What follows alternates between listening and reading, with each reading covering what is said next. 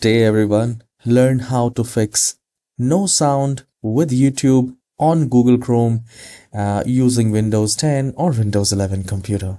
So you're trying to play YouTube video and it's not playing the sound.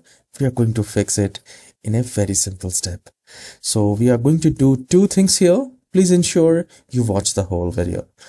Uh, the very first thing is to do the single click at the top right corner on the three dots and then we need to go to settings which is there at the bottom. Once you click on the settings, you will find the window like this. And here we need to go to privacy and security. Right. Now here, the very last option will be the site settings and we will click on that. Now we need to scroll down and we need to go to the bottom section here. You will find additional content setting under privacy and security. So I will click on that. Now, the moment you click on that, you will find an option called sound. And if you already see the sound, you can click on that.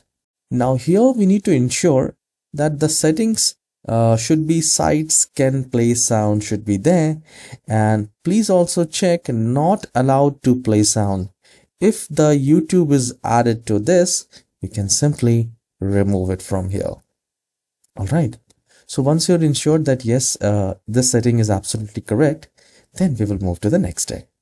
And the next step is I'll just minimize it and please make sure that YouTube should be playing here so that you can check here. So play the YouTube video, see if that works for you and let it playing the YouTube and then just minimize the Google Chrome because uh, Chrome should be running in the background to do the second step.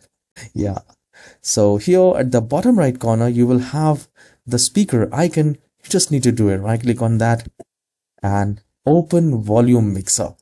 Now once you click on volume mixer please ensure all the apps are you know um, at the right hand side. The button should be at the right hand side and it should not have a mute option. So if it is if it's muted you can unmute it. And i'm sure with this fix you will be able to play sound in your youtube and if this tutorial has given you a value and helpful, please hit the like and subscribe and leave a comment that yes, it has helped you. Alright, I'll see you in the next video. Have a wonderful day. Take care.